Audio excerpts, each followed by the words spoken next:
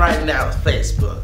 Facebook get on my damn nerves. I can't mind my own business on Facebook without somebody going up on my Facebook and taking it for something that's not. Like, why? Why? I wrote status like about a week ago and it was to one of my clients, right? It was one of my clients and a couple of people because this shit grew way bigger than what it was. A couple of people took the status way too far and started personally hitting me up saying shit like, oh, so you wrote that status about me?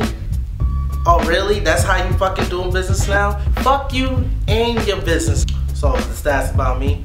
Just let me know, nigga. And that's what happened. Word, trying to explain myself, and I'm trying to let people know, yo, hold up. Man, the stats is not about you. It's just about one person in particular. They know who they are. That's why they didn't respond.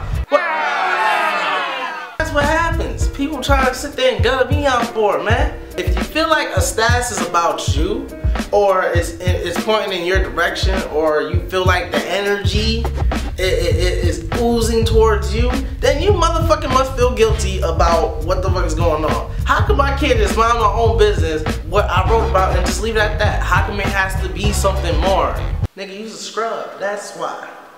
You always up in your feelings. What? You the dark skinned nigga that act like the light skinned nigga. Straight up. You need to stop that what? shit. Nah, nigga. I was just, I just wrote stats around status. Stop. So, look, that's not the point. The point being is that focus on your own shit. Alright then, to everybody out there watching this video then. Then who was the stats about? Hmm? I beat the beat, black and blue, say the word, my young nigga shoot. She uncomfortable in the coupe, she lapped up with another two. I say I'm fucking you, you. But I ain't tryna wait till I get home. They from the Ninth Ward giving super dome. If it ain't about the money, don't call my phone. Through I was talking crazy, I was probably wavy, free bigger valve. More trees than the arboretum, catch a contact when you get the smell. Holy man, but I'ma give him hell. They not my mans, but I'ma give him bail. The feds lurking, we don't never take.